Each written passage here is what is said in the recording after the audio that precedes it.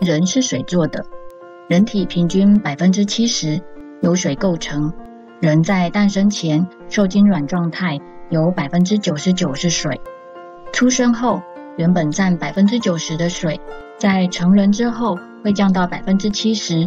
据推测，死前应该会降至百分之五十吧。换句话说，人终其一生都是活在水的状态之下。河川流动而得以保持清澈纯净，一旦机制浑浊，对水而言就是死亡。也就是说，水必须保持循环。健康亮起红灯的人，多半是体内的水，也就是血液凝滞所致。血流一旦凝滞，身体就开始腐败。如果是脑血管，恐怕就攸关生死了。那血流为什么会凝滞呢？这跟感情挚爱有关。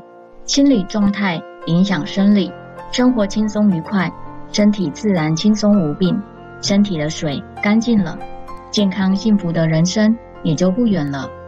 日本江本胜教授以波动测定法进行水的相关研究。所谓波动测定器，是测定物质各自固有的振动，进而将之转写到水或其他物质上的机器。用这部机器测定了许多人的波动。并得知人消极的情感波动正对应了各种不同元素的波动，比如焦躁的波动跟水银的波动一致，愤怒对应铅，悲伤寂寞对应铝，担心和不安对应铬，迷惘对应铁。有人提出使用铝制的锅子或餐具可能导致老年失智，但其实这是因为铝的波动与悲伤寂寞的波动几乎一致，因此。应该是老人寂寞或悲伤的情感引发出铝元素，进而导致老年失智症。在他的一项拍摄水结晶的实验中发现，透过音乐传达的律动可以改变水的性质。在两个喇叭之间放一瓶水，水就这样随着美丽的古典音乐发挥各自不同的个性而形成结晶。相对的。让水听充满愤怒及反抗语言的重金属音乐，结晶呈现的全都是凌乱损毁的形状。接着他又突发奇想，让水看字，把水装进瓶子，在纸上写了一些字，并将字面朝内贴在瓶身。水阅读文字，从理解文字意涵并改变结晶形态，就常理而言，根本就是天方夜谭。实验结果简直大大出乎意料之外。看到谢谢的水呈现的是清楚而美丽的六角形结晶，爱与感谢呈现激进完美的结晶。这也说明了爱与感谢正是大自然生命现象的根源。相对的，看到混淡的水呈现的结晶，则和听到重金属乐时一样，是细碎零散的结晶。同样的，看到我们一起执行吧的邀请时，水结晶的形状非常完整规则。但是看到“给我做”这个命令句的水，甚至无法呈现结晶。这个实验说明了日常生活的措辞有多重要。一句好话的震撼力会将一切性质带往好的方向，而一句恶言则会将所有的事物都引向破坏。你知道取得好水的方法吗？或者你知道好水在哪个地方吗？是阿尔卑斯山路、北极、南极的冰。不管你的答案如何，这些都没有触及问题的本质。不管多么好的天然水，如果你心不善，这些水也好不起来。语言是心灵的展现，面对生活的心态会改变占人体百分之七十的水，并展现在身体上。拥有健康体魄的人，心灵相对健康。水忠实的反映世界上所有的振动频率。从而变成我们肉眼可见的形状。人的意识或语言所具有的能量，能够透过水结晶以肉眼可见的具体形态呈现出来。透过水结晶的照片，我们的意识得以倍速飞跃、觉醒。过去的所思所感，因为眼见为凭而发展得更加快速。人只要活着一天，便无法从各种烦恼中挣脱。那该如何和源源不绝的负面情感相处呢？万物都是透过振动而存在的。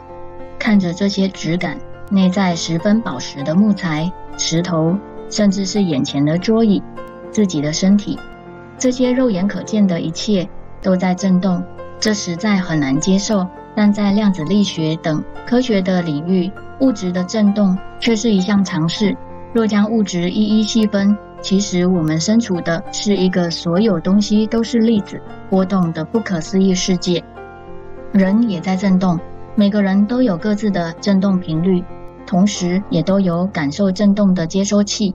充满悲哀的人便发出悲哀的周波数，对于周遭所有事物欢喜以对的人，发出的就是光明共振。我们不需要去否认自己身上的任何情感，那么该如何面对心中的愤怒、悲伤或是怨恨的情绪呢？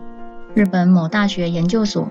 发明了以音消音法，就是调查声音所具有的波形，再透过音响放出与它逆向波形的声音，就能完全消除这些地方的杂音。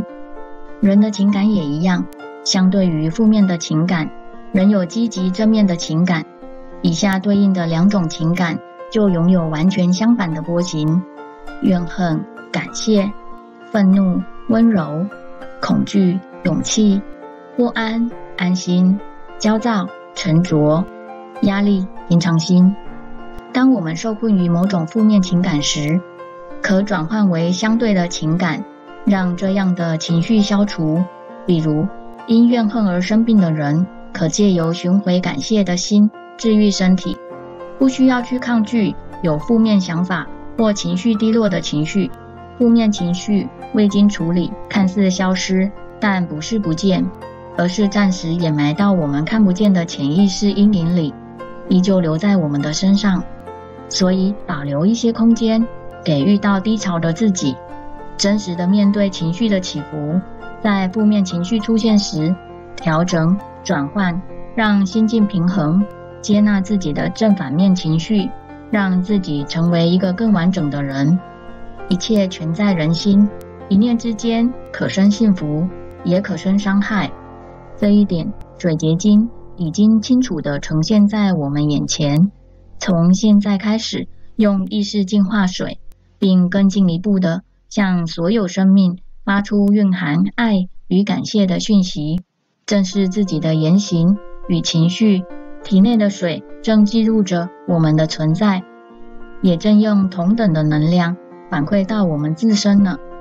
当心情好，你发现了身边哪些事？也跟着变得不一样了呢，写在留言跟我分享好吗？今天的影片就到这里，希望对您有帮助。我是乐乐，谢谢。